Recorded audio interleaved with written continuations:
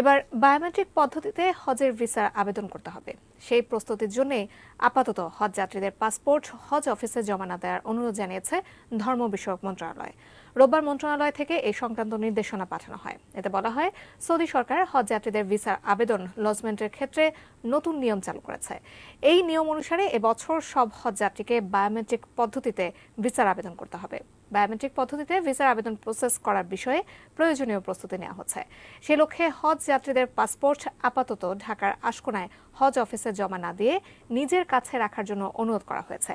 এরই মধ্যে যারা পাসপোর্ট জমা দিয়েছেন হজ অফিস থেকে সেটি ফেরত নেওয়ারও অনুরোধ জানানো হয়েছে।